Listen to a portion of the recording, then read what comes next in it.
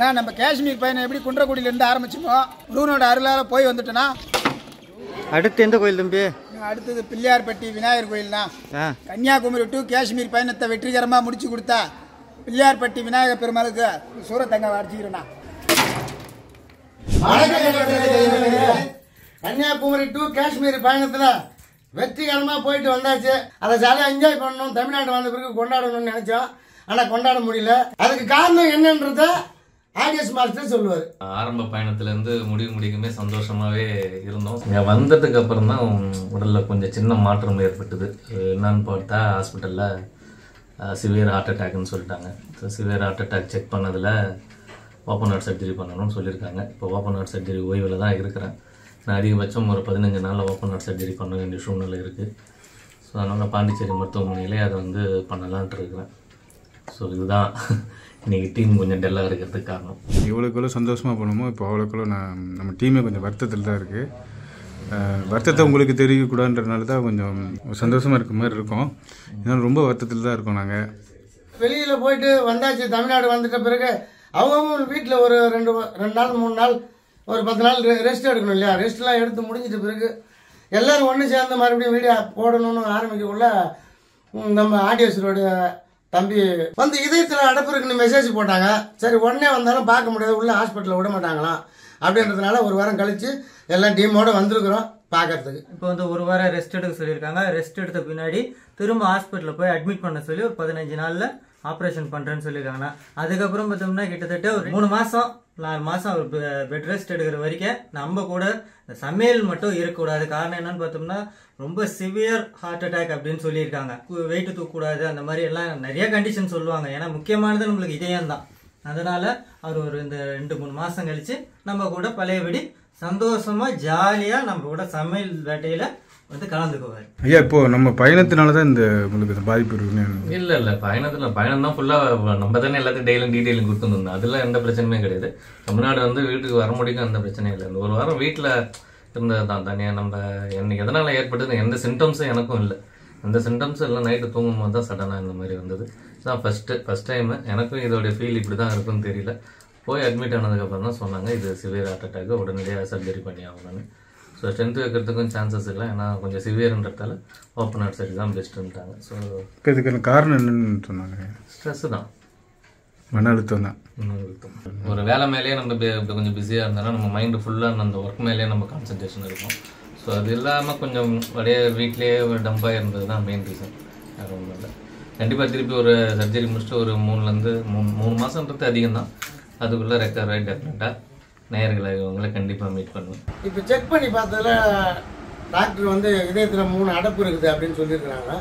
இதை ஆப்ரேஷன் பண்ணி அவர் வந்து மறுபடியும் மூணு மாதம் ரெஸ்ட் எடுக்கணும். அதுக்கு பிறகு தான் ஃப்ரீ ஆவார். அவருக்காக நாங்களும் பிரார்த்தனை பண்ணிக்கிறோம். மக்களாகிய நீங்களும் அவர் குணமடைந்து ம- பழையபடி வீடியோவுக்கு வரணும் என்று எல்லாரும் கடவுளை பிரார்த்தனை பண்ணிக்கோங்க. எனக்கு கை அடிபட்டதுக்கு நீங்கள் கடவுள்கிட்ட பிரார்த்தனைங்க. நிறையா பேர் நானே கமாண்டில் பார்த்தேன். அந்த மாதிரி ஆடியன்ஸுக்கும் வந்து சீக்கிரம் குணமடையணும்னு ஆண்டவனை வேண்டிக்கோங்க. எல்லா கமெண்ட் படிச்சேன்னா ம், நான் பார்த்தேன். சில பேர் திட்டலாங்க தெரியுமா? அந்த கமெண்ட் இவன் தான் போட்டா இப்போ சேர்னா சென்றாயினால ஏதாவது பாதிக்கப்பட்டீங்களான்னு நேரடியாக சென்றாயினாலே ஆமாம் எனக்கு லேசாக வலிக்குது அப்பப்போ. இவங்கனால இவங்க ரெண்டு பேர் நாள் தான்? அப்படிலாம் கிடையாது. இவங்க தான் நம்ம டீமே மகிழ வைக்கிற ஆளுங்களே. இவங்க கூட இருந்தால் அட்டாக்லாம் வராது. அண்ணனுக்கு வந்து இப்போ ஒரு பதினஞ்சு நாளில் ரெஸ்ட் எடுத்து திரும்ப பெட்டில் சேர்த்து ஆப்ரேஷன் பண்ணுறான்னு சொல்லியிருக்காங்க. இந்த வீடியோ சோகத்திலே ஒன்று முடிக்க தேவையில்லண்ணா. நம்ம போன பயணங்கள் அனுபவம் எப்படி நினைவுகள் எல்லாம் திருப்பி எடுக்கிறீங்க. கன்னியாகுமரி டு காஷ்மீர் பயணத்தில் நான் போன இடமெல்லாம் கனவுகள் முன்னாடியே வந்த மாதிரி இருந்ததுன்னா அவ்வளோ ஒரு ஜாலியாக இருந்தது என்ஜாய் பண்ணேன். இருக்கிறதுல சந்தோஷமா இருந்தேன் நான் தான். இருக்கிறதுலே சோகம் இருந்தது யாரும் சொல்லு? ம். இருக்கிறதுலே சோகமா இருந்தது. நான் தான்டா அது. ஏ? எந்த நேரத்தில் எது நடக்கும்னே தெரியலடா. போயிட்டு நம்ம லாஸ்ட்டாக வீடியோ போட்டு திரியும் போது எனக்குலாம் உண்மையிலே ஒரு அப்படியே அழுவாத்திரமே வந்துடுச்சு. அந்த அளவுக்கு இந்த பயணம் ஒரு ஜாலியாக இருந்ததுண்ணா. ஆரம்பத்துல இருந்து கடைசி வரைக்கும் மக்கள் கொடுத்த உதவி மக்கள் கொடுத்த ஆதரவு அது எனக்கு ரொம்ப பிடிச்சிருந்துச்சு ஏன்னா தெரியாத ஊர்ல போயிட்டு ஒரு மக்கள் வந்து நம்மளுக்காக உதவி பண்ணாங்க அப்படின்றது ரொம்ப எனக்கு பிடிச்சிருந்துச்சு தெரியாத மொழியிலே போய் நமக்கு உதவி பண்ணிருக்காங்க. டீ போட்டு கொடுத்தாங்க. எவ்வளோ போட்டுருக்காங்க டீ கடையில் கூட கிடைக்காது? தேங்க்யூ தன்யவாத் தன்யவாத். உங்களுக்கு இந்த பயணத்தில் நடந்த ஆச்சரியமான விஷயம் ஏதாவது எல்லா இடமே புது புதுசு புதுசாக நடந்தா புது புது மக்கள் புது புது இடங்கள்லாம் பார்த்தா எம்மன் போய் ஒரு காரை இடத்துல நிறுத்தி படுத்தாரு. விடிஞ்சு வச்சு பார்த்தா அந்த இடம் கண்குள்ளா இருந்தது அந்த இடம் எனக்கு ரொம்ப பிடிச்சி. வீட்டில் சுடுகாட்டில் போய் பார்த்துட்டா எல்லாமே தான் படுத்தோம். படுத்தது ரெண்டு நாள் சாப்பிட்டது ஒரு நாள் சுடுகாட்டில் நீங்க சொல்லுங்க உங்களுக்கு இந்த பயணத்துல மிக முக்கியமான சம்பவங்கள்? முக்கியமான சம்பவம்ன்றத நம்ம பிளான் பண்ண மாசம் வந்து கரெக்டான மாசம். ஆமா, அதுதான் மெயின் வந்து கரெக்டாக வந்து மழைகளும் கிடையாது அந்த அதிக அளவில் குளிரும் கிடையாது. குறிப்பிட்ட ஏரியா அந்த காஷ்மீர்லேயே பார்த்தீங்கன்னா நம்ம டாப்பில் போக போக தான் நம்ம பனியே பார்த்தோம் ஸோ இந்த கிளைமேட்டில் போனதால் நம்ம நம்ம வந்து மெயினாக அந்த வெதரில் மெயினாக தப்பிச்சோன்னா நம்ம டீம் ஒரு அருமையான டீம் நான் இந்த வேலை தான் செய்வேன்னு இல்லாமல் எல்லாருமே கலந்து சமைக்கிறதுலேருந்து சரி நம்ம ஹெல்ப் பண்ணுறதுலேருந்து சரி டிரைவிங்கே வந்து பார்த்தீங்கன்னா கிட்டத்தட்ட நம்ம அஞ்சு பேருக்கு மாற்றி மாற்றி எல்லாம் எந்த ஒரு அந்த ஈகோ எதுவுமே இல்லாமல் ஒரு ஃப்ரெண்ட்லியாக நம்ம பயணத்தை வந்து ரொம்ப டிஃபிகல்ட் ஆனதே வந்து நம்ம ஈஸியாக ஜம்மு அண்ட் காஷ்மீர்னு நினச்சிட்டு போயிட்டோம். ஆனால் அங்கே போனதுக்கப்புறம் தான் தெரிஞ்சு எவ்வளோ ஒரு டஃப்பான ரூட்டுன்னு அது ஓட்டுறவங்களுக்கு தான் தெரியும். நல்ல வேலை அங்கெல்லாம் நாங்கள் ஓட்டல. வண்டி ஓட்டம்னா சைடில் பார்க்கக்கூடாது. அதனால தான் பின்னாடி உட்காந்துருக்கல சைடில் பார்த்தா இப்போ இதே மாதிரி தான் இருக்கு ரோடு. இந்தாண்டையும் ஒன்றும் தடுப்பு இல்லை இந்தாண்டையும் தடுப்பு இல்லை. ஓடி இடிக்கிறது கூட. ஓட சறுக்குன்னு கீழே தான் போகணும். அந்த மாதிரி இருக்கிற இடத்துல என்ன பண்ண முடியும்? இந்தியா ஃபுல்லாக சாப்பாடு கொடுத்தோம். ஆனால் காஷ்மீரில் சாப்பாடு கொடுப்போமான்ட்டு நினச்சி கூட பார்க்கல.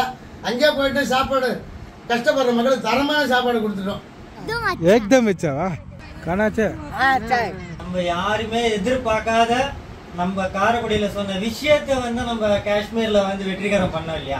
அது யாருக்குமே மறக்காதுண்ணா ஏன்னா இந்த இடத்துல இந்த மாதிரி ஒரு விஷயம் நடந்துச்சான்னு இங்க இருந்து போய் ஜூஸ் எடுத்துட்டு போய் போட்டு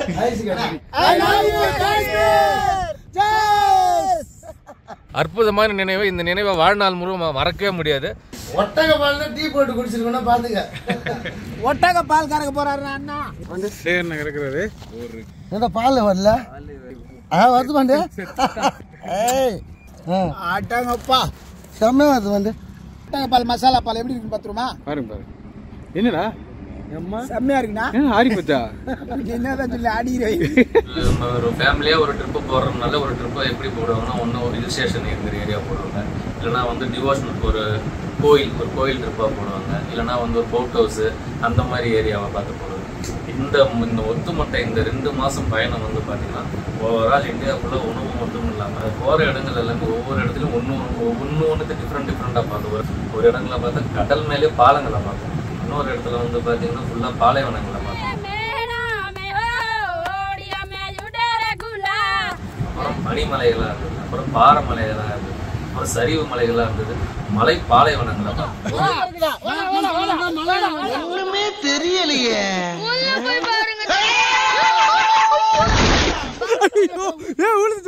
ஒரே ட்ரிப்பில் இத்தனையும் அவ்வளோ அதிசயத்தையும் வச்சிருக்க நம்ம இந்தியாவை ஒரு ரெண்டு மாசத்துல ஒரு மிக நீண்ட தூர பயணத்துல விதவிதமா எந்தெந்த லொகேஷன்ல எப்படி எப்படி பார்க்கணுமோ எல்லாத்தையும் அவ்வளோ இயற்கை அழகுல கண்குளிர கண்டு கழிச்சு அது மட்டும் இல்லை அது நீ இப்போ காஷ்மீர் போகிற லைனில் பார்த்தீங்கன்னாக்கா விதவிதமான பழங்கள் பனியோட அந்த காய்கள் இருக்கிறத பார்க்கக்குள்ள நல்ல கண்குள்ள காட்சியாக இருக்குது.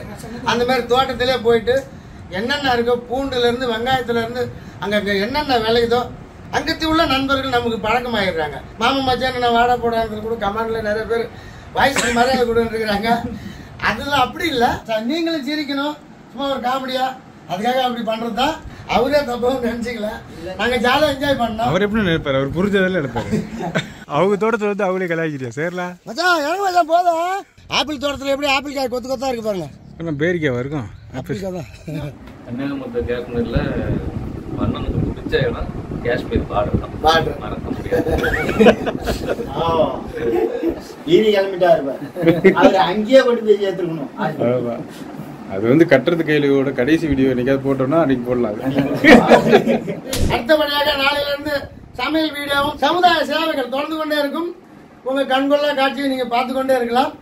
எங்களுடைய நிகழ்ச்சிகள் மீண்டும் ஆரம்பம். நம்ம ஆர்டிஎக்ஸ் மாஸ்டர் வந்து சீக்கிரமா உடல்நலம் குணம் அடைஞ்சு நம்ம கூட திரும்ப வந்து புது புது சமையல் எல்லாம் இன்னும் செஞ்சு கொடுப்பாரு. நம்- நம்மளும் இன்னும் பார்க்கலாம் மக்களும் பார்க்கணுன்ற ஆர்வத்துல திரும்ப இறைவனை வந்து வேண்டிக்கிறோன்னா மக்களாகி நீங்களும் இறைவன்கிட்ட பிரார்த்தனை பண்ணிக்கோங்க. இதே மாதிரி தொடர்ந்து எங்களுக்கு ஆதரவு கொடுங்க. அப்பதான் நாங்கள் உற்சாகமா ஒரு ஒரு இடங்கள் முக்கியமா போய் பார்க்கறதுக்கு எங்களுக்கு தோணும். கட்டுறது கையாளு சேனல லைக் பண்ணுங்க ஷேர் பண்ணுங்க கமெண்ட் பண்ணுங்க சப்ஸ்கிரைப் பண்ணுங்க. மறந்துடாம பெல் பட்டனை பிரஸ் பண்ணுங்க. ஃபேஸ்புக்ல பேஜ் இருக்கு. லைக் பண்ணுங்க ஷேர் பண்ணுங்க. எங்களை மாதிரி என்ஜாய் பண்ணுங்க.